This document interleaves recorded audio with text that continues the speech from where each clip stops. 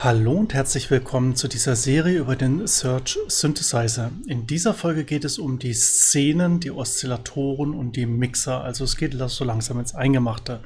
Legen wir doch einfach mal los. So, wie ich eben gesagt habe, geht es in dieser Folge um den linken oberen Bereich, da wo ich jetzt gerade mit der Maus entlang fahre, bis hier runter die Einstellung zu den Oszillatoren, dann hier rüber zu dem Mixer, weiter hoch Portamento Pitch, die Szenen Pitch, dann hier OS, äh, OSC Drift Noise, hier die Einstellung zum Play Mode, Pitch Bend und natürlich auch nochmal hier oben entlang. Also alles, was mit der ähm, Sounderzeugung, ähm, so Soundladen, Soundeingabe zu tun hat. Gehen wir doch einfach erstmal Gehen wir einfach von links nach rechts oder von links oder der logischen Reihenfolge nach. So. Der Search Synthesizer hat generell Szenen und die Szenen sind im Prinzip zwei Synthesizer. Einmal die Szene A und einmal die Szene B. Die ähm, jeweiligen Szenen A und B haben jeweils drei Oszillatoren, hier, den man hier sehen kann. Wenn ich jetzt zum Beispiel hier bei Oszillator bei der Szene 1 was einstelle, sowas zum Beispiel, und ich schalte um auf B, sehe ich, okay, ich habe hier einen anderen Oszillator. So, diese Szenen ähm, kann man zusammenschalten oder äh, parallel schalten oder wie auch immer oder einzeln schalten. Und das Ganze macht man hier mit diesem Mode hier auf der rechten Seite. Der steht standardmäßig auf Single. Das heißt, wenn äh, Single aktiviert ist, höre ich entweder nur Szene A mit seinen drei Oszillatoren oder Szene B mit seinen drei Oszillatoren, je nachdem, was ich hier ausgewählt habe. Gehe ich hier beim Modus auf den Scene Split oder Key Split, dann kann ich auf der Tastatur sagen, wo ähm, bis wohin geht Szene A von meiner Tastatur, also von links aus gesehen. Und ab wann fängt Szene B, die, der Sound von Szene B auf der rechten Seite an? Das heißt, ich kann mein, meine Tastatur in zwei Bereiche aufteilen, kann mit der linken Hand Szene A spielen und mit der rechten Hand Szene B oder wenn ich die Hände überkreuze, natürlich andersrum.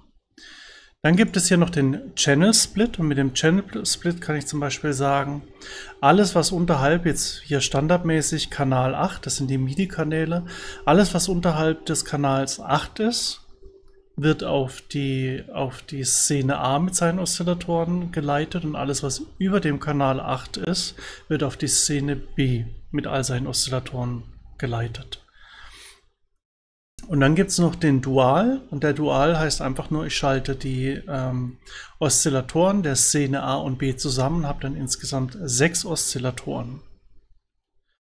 Bei Poly kann ich dann zum Beispiel auch nochmal sagen, wie viele äh, ähm, Stimmen der Oszillator hat. Da kann ich bis zu 64 Stimmen hoch.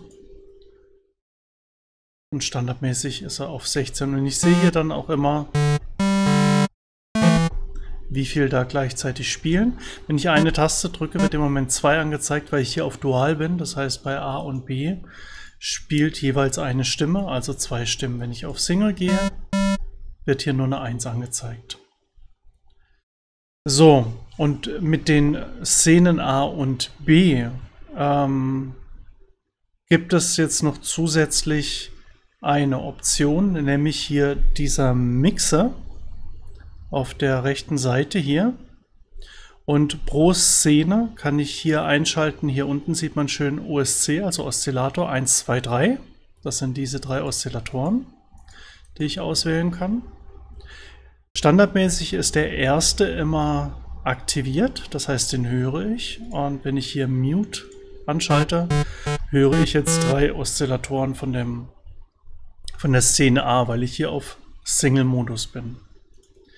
Zusätzlich habe ich hier noch eine Ringmodulation und die Ringmodulation in diesem Fall multipliziert entweder hier den ähm, ersten Oszillator mit dem zweiten oder den zweiten mit dem dritten. Das sind diese zwei zusätzlichen Kanäle, die sind auch standardmäßig auf Mute, also stumm geschaltet. S ist Solo und hier unten habe ich noch einen Penning-Schalter, wo ich nach rechts oder links ziehen kann und hier natürlich den Volume-Schalter. Zusätzlich zur Szene habe ich dann noch einen Noise-Generator mit dabei. wenn ich das jetzt hier alles mal auf Stumm schalte, auf Mute und nur den Noise drin habe, kann ich hier einfach Noise hinzufügen oder halt zusammen mit dem ähm, Oszillator kann ich Noise in verschiedenen Abstufungen mit dazu packen. Und den kann ich natürlich auch links, rechts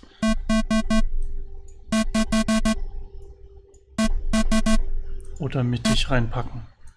So, und dann kann ich die ganze Szene hier noch mit einem Gain verstärken oder abschwächen. Mit einem Doppelklick kriege ich die ähm, Parameter immer wieder in, den, in die Ausgangsposition. So, wenn wir jetzt eins nach oben gehen, dann gibt es hier noch die Option Portamento und Pitch. So, und Pitch ist fast äh, selbsterklärend. Hier wird, wenn man draufklickt und rumschiebt, sieht man gleich, okay, wird um Semiton verschoben und wenn man die Taste drückt, dann hört man das gleich.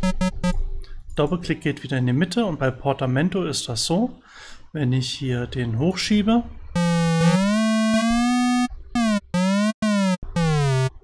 dann gleitet der Ton ähm, immer so ein bisschen. Und so, und jetzt kommt eine Sache, die ist bei dem Search sehr, sehr wichtig. Das ist wie in Bitwig der, ähm, der Inspektor, den man nie aus den Augen lassen sollte, beziehungsweise auch immer anlassen sollte, weil hier immer ein Haufen Informationen stehen, ist es bei Search nämlich die rechte Maustaste. Wenn ich jetzt die rechte Maustaste klicke, dann bekomme ich zu Portamento entweder einen, äh, einen Link auf, die, auf das Handbuch. Ich kann hier den Wert direkt eingeben. Ich kann Portamento zu dem Tempo synchronisieren, der in meiner DAW eingestellt ist. Ich kann hier eine konstante Rate, ein Glissando und ein Retrigger at Scale Decrease eingeben. Ich kann eine logarithmische Kurve, eine lineare, eine Exponentialkurve eingeben, wie der Ton an, hoch oder runter gleitet. Ähm, Concentrate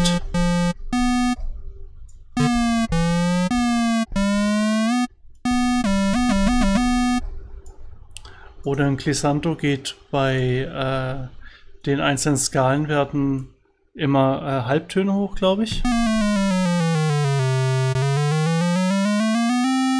Und je weiter rechts ich den Regler ziehe, desto langsamer geht das.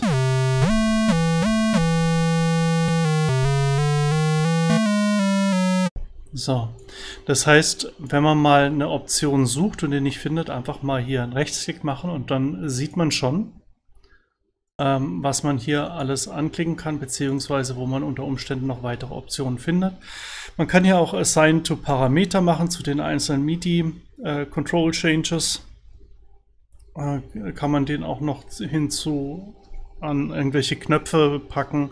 MIDI Learn Parameter, dann klickt man drauf und dreht an einem Knöpfchen und dann hat man das an, an den Knopf gemacht. Man kann äh, die Modulation hier quasi ranziehen, dann kommen wir in einer anderen Folge noch dazu. Map äh, to Controller Key, Add Automation Lane, das kennen wir auch schon, oder Set to Default Value, also zum Standard, zur Standardeinstellung zurückstellen und dann ist er wieder auf ganz normal. Das ist hier bei dem Portamento. Das heißt, immer mal wieder einen Rechtsklick auf so einen Schalter machen und einfach mal gucken, gibt es hier noch zusätzliche Optionen. Hier oben bei Szene haben wir dann auch nochmal einen Oktaven-Pitch für die gesamte Szene. Das betrifft dann alle Oszillatoren hier. Das heißt, die ganze Szene wird ähm, eine Oktave höher oder runter oder mehrere Oktaven höher oder runter gepackt. Und dann gibt es hier oben einen Noise Color und einen OSC Drift, also einen Oszillator Drift. Oszillator Drift ist im Prinzip vielleicht sowas wie bei den alten Synthesizern, die vielleicht noch mit Röhren gespielt haben, die ähm, jetzt nicht so präzise waren, aus den 80ern kennt man es ja auch schön, diese, diese Synthesizer, die so im Ton hoch und runter gehen, die irgendwie nicht gestimmt wirken. Wenn ich das jetzt hier so spiele und der Oszillator trifft es auf 0% und jetzt ziehe ich den einfach mal hoch auf 100.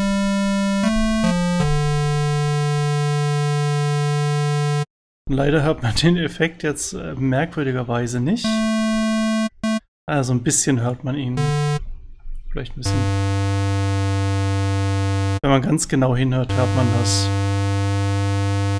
Und die Noise Color ist im Prinzip nichts anderes, als dass ähm, hier zwischen verschiedenen ähm, Rauschformen, weißes Rauschen, rosa Rauschen, Ähm, ich müsste jetzt die verschiedenen ähm, Rauschfarben nochmal genau durchgehen, welche das ist. Es steht auch nochmal im Handbuch da. Und warum der hier, warum man hier jetzt nicht so wahnsinnig viel gehört hat, wundert mich jetzt so ein bisschen. Das könnte jetzt aber vielleicht auch an dem Oszillator liegen. Ich gehe mal auf den Standard.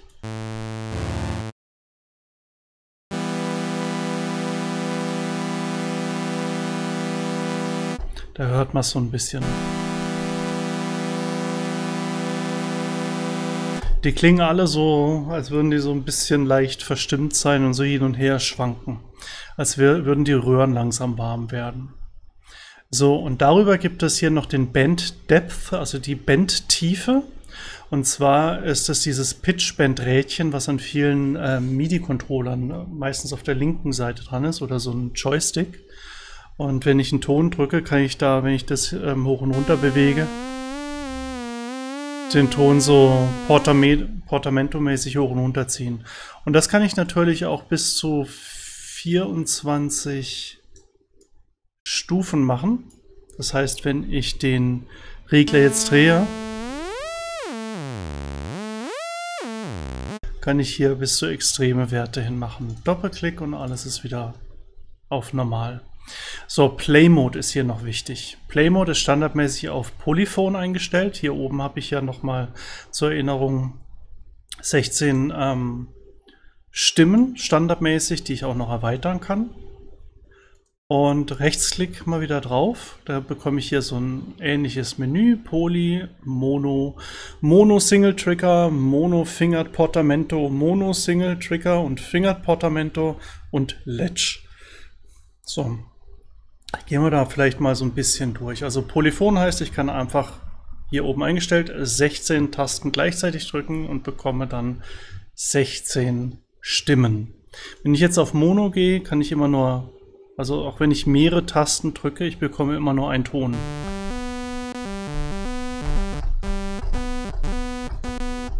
Also ich drücke gerade drei Tasten, aber man hört halt nur einen Ton. So, jetzt gibt es diese unterschiedlichen Mono ST, Mono FP, Mono ST und FP. Aber wie ich vorhin gesagt habe, Rechtsklick auf Mono. Und dann kommt nicht nur dieses Menü, wo ich das hier nochmal sehe, sondern hier auch nochmal eine Auswahl für den Mono-Modus. Und zwar kann ich zum Beispiel sagen, okay, ich möchte, wenn ich auf Mono gestellt habe, immer die zuletzt gedrückte Note hören.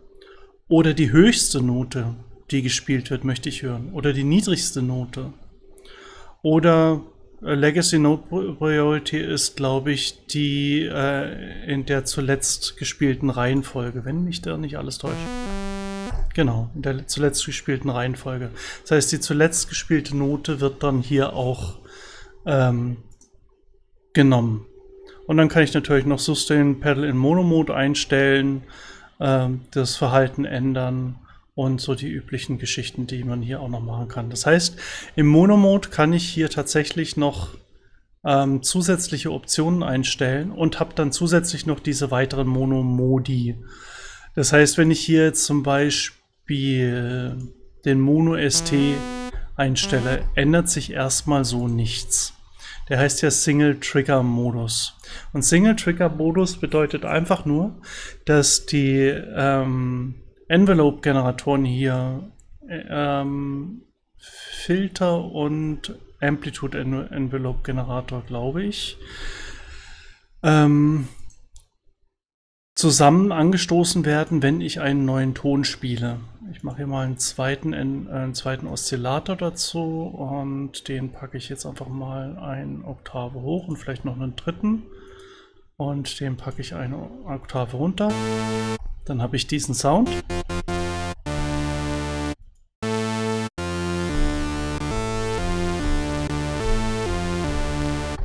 Das heißt, bei normalem Mono habe ich ähm, nicht unbedingt, dass die Oszillatoren alle zur gleichen Zeit wieder starten.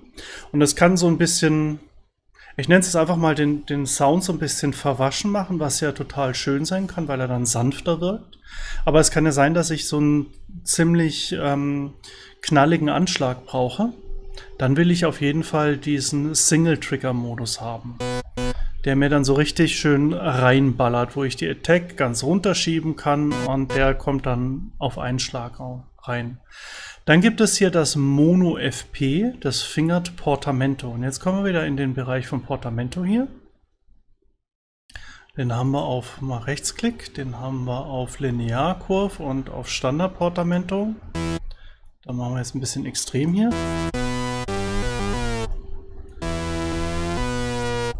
So, bei Mono haben wir ja gesehen, ich drücke eine Taste, drücke die nächste Taste und dann fängt der an nach oben zu gehen.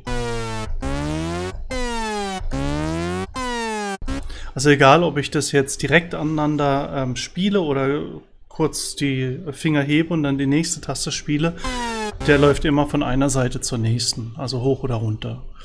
Bei dem FP, also bei dem Fingered Portamento, ist es so, ich drücke eine Taste habe Pause dazwischen und ich habe kein Portamento. Wenn ich jetzt Legato spiele, also das heißt, während ich die eine Taste noch gedrückt halte, drücke ich schon die nächste und lasse dann die erste los. Dann läuft das los. Das heißt, ich kann mit meiner Spielweise entscheiden, ob ich diesen Portamento-Verlauf haben möchte oder nicht.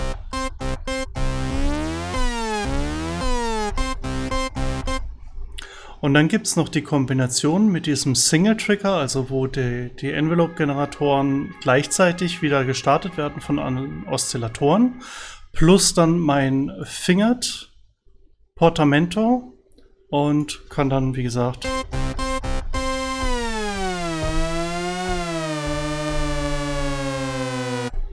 das Ganze miteinander kombinieren. Und dann gibt es noch den dann gibt es noch den Ledge-Modus. Und der Ledge-Modus ist einfach nur, erhält die Note.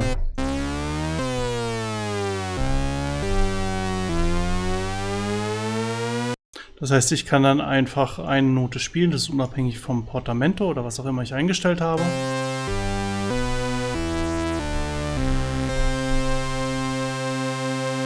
Und kann stundenlang eine Note spielen lassen, ohne dass ich die Tasten jemals nochmal berühre. so, Jetzt sind wir hier einmal so, so komplett rumgegangen. Jetzt will ich hier oben nochmal auf den Patch-Browser, auf den ähm, Preset-Browser gehen.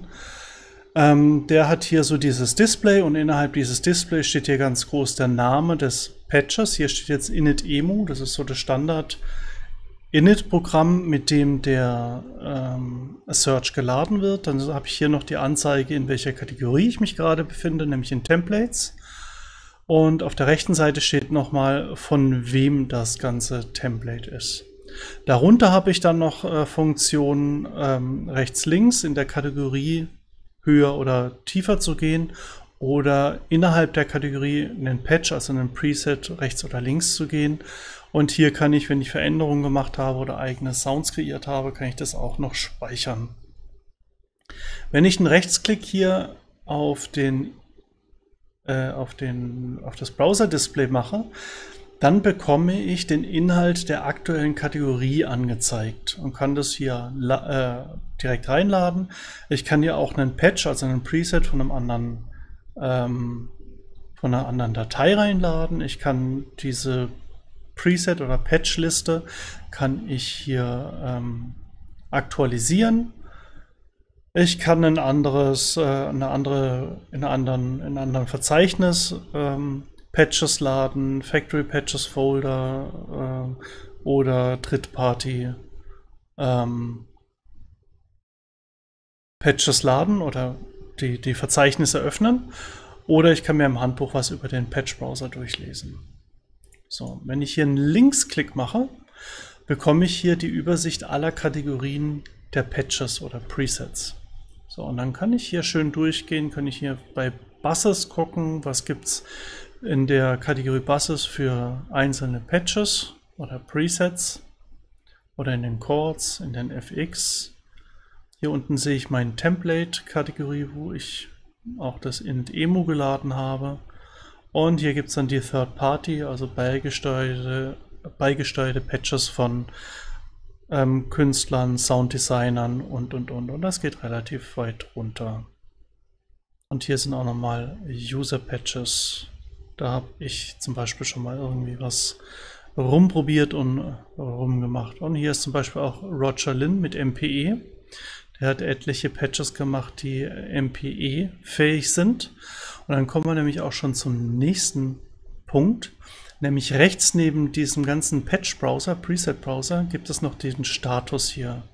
Bei dem Status steht MPE. Das heißt, wenn ich ein Patch habe, das MPE kann, dann muss ich auch MPE einstellen. Ich kann hier mit dem Rechtsklick Enable MPE oder Disable MPE dann kann ich hier noch die äh, MPE Pitch Band Range äh, ändern, die ist standardmäßig auf 24 Semitones. Manche Instrumente, manche MIDI-Instrumente brauchen da mehr oder weniger. Und ich kann auch sagen, ja, ich habe sowieso immer nur das eine MPE-Gerät ähm, am Start.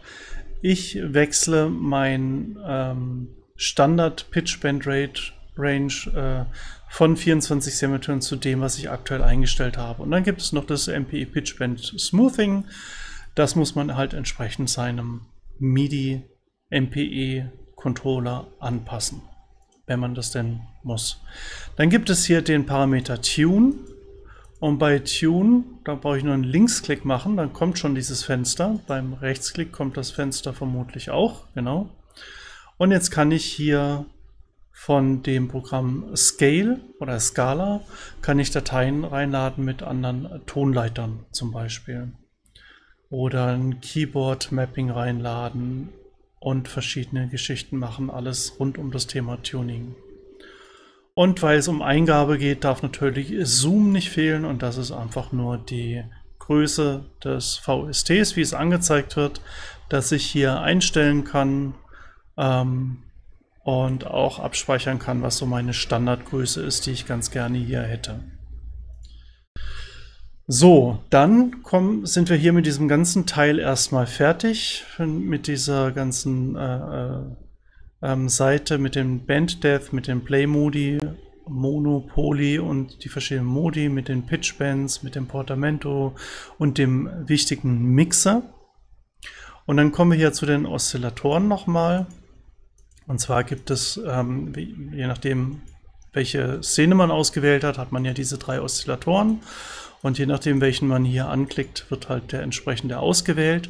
Unterhalb des Oszillatorfensters, wo hier die Wellenform angezeigt wird, hat man hier nochmal das Key-Tracking. Das kann man ausschalten. Und wenn man das ausschaltet, ich muss jetzt vielleicht hier im Mixer mal die anderen beiden ausschalten. Wenn man das Key-Tracking ausschaltet, dann läuft der Oszillator immer nur auf einer Frequenz. Mache ich das wieder an geht wieder das Key-Tracking los und man hört die einzelnen ähm, Töne dann auch. Mit dem Retrigger ähm, ähnliches Prinzip. Wenn ich das anhabe, werden dann die Envelope-Generatoren hier wieder bei jedem neuen Tastenanschlag ähm, neu gestartet, was so ein bisschen knackigeren Sound auslöst. Hier, rech hier unten drunter habe ich dann äh, noch die Option, die entsprechende Oktave einzustellen für diesen einzelnen Oszillator, für jeden Oszillator unterschiedlich. Und hier auf der rechten Seite habe ich dann die verschiedenen Oszillatorentypen. Da komme ich in einem gesonderten Video-Tutorial dazu, aber hier gibt es eine ganze Menge und mit denen kann man auch eine ganze Menge machen.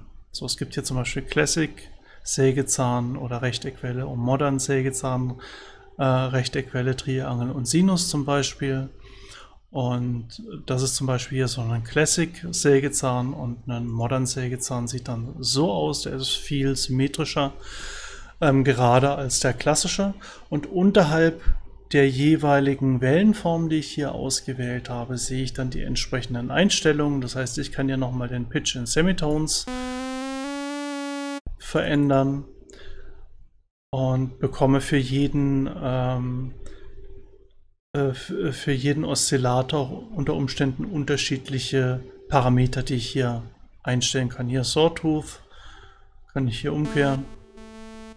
Hier auf 0 quasi.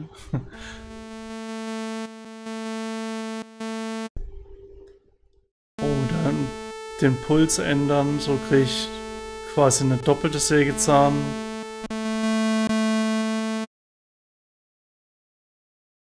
Oder Richtung einem Dreieck gehen. Also ich habe ja etliche Möglichkeiten ähm, mit den Oszillatoren äh, Veränderungen zu, bei der Sounderzeugung ähm, zu erwirken. Ich habe hier auch so einen schönen Sync-Button. Und natürlich habe ich bei jedem Oszillator auch noch Unisons. Und Unisons Voices äh, sind ja zusätzliche Stimmen. Das heißt, ich habe bei einem Oszillator, den ich hier auch aktiv habe, ich habe beim Mixer nur einen an, habe ich standardmäßig eine Stimme an. Und jetzt kann ich diesen einen Oszillator erweitern bis auf 16 Stimmen, also ein einzelner Oszillator. Und diese Stimmen sind etwas gegeneinander verstimmt. Das heißt, wenn ich die jetzt gar nicht verstimme, klingen die so gegenüber eine Stimme. Und jetzt kann ich die noch ein bisschen verstimmen.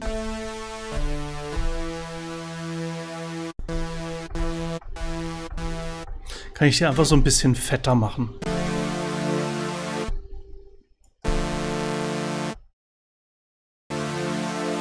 Und dadurch, dass sie verstimmt werden, also einfach nur so, was hatte ich jetzt hier, 16 verschiedene Voices. Und die waren insgesamt verstimmt äh, mit ja, irgendwie 7 Cent oder so. Ähm, gibt es natürlich dann so Schwebungen. Und diese Schwebungen führen dazu, dass die unterschiedlich ähm, abge, ähm, nicht abgespielt werden, sondern in den Frequenzen unterschiedlich sind. Und das erzeugt den Eindruck, als wäre es einfach weiter und, und äh, mehr Stereo. So. Das war schon jetzt zu den Szenen, zu den Modi, was man da alles einstellen kann, zu den Oszillatoren, dass man pro Szene drei Oszillatoren hat, die man jeweils einzeln dann wieder einstellen kann hier über den Mixer, den man ähm, hier noch mit dazuschalten kann, beziehungsweise die Ringmodulation noch mit dazuschalten kann und auch noch ein Noise mit dazuschalten kann, das Ganze verstärken oder leiser machen, die ganze Portamento-Einstellung und wie gesagt, immer Rechtsklick machen und gucken, was gibt es hier vielleicht noch an zusätzlichen Optionen. Ähm, zum Beispiel gerade äh, so Geschichten wie ähm, Tempo-Sync, damit man das an die Geschwindigkeit des Songs anpassen kann, sodass auch das Portamento unter Umständen der Geschwindigkeit des Songs angepasst wird. Dann hier der ähm, Oszillator-Drift, der so ein bisschen einen verstimmten Sound erzeugt, der ja sehr schön sein kann. Und ähm, dann haben wir hier oben noch die Play-Modi mit den Polyphonen, den verschiedenen monophonen ähm, Einstellungen, die auch äh, Auswirkungen äh, zusammen mit dem Portamento haben. Die Pitchbend-Einstellungen, den gesamten Patch- und Preset-Browser mit MPE, Tune und Zoom. Das war's auch schon. Und ähm, ja, ich hoffe, es ist euch bisschen mehr klarer geworden über den Search Synthesizer, über die Oszillatoren, über die Szenen, wie das alles zusammenspielt.